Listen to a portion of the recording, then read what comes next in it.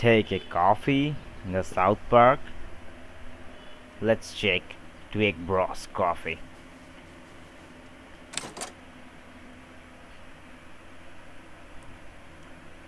Welcome to Tweek Coffee.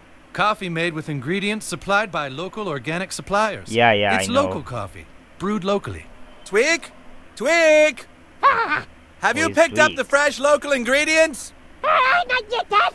I'm still trying to do all my chores. Well, hurry What? up, son. The family business is relying on you. Ah! You're my weird.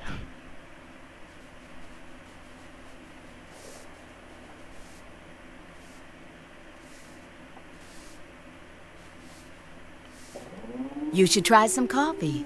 It gives you that edge you need to stay focused at school. Okay, okay, miss. Here is a crack. I can loot here something. Yeah. Take it all.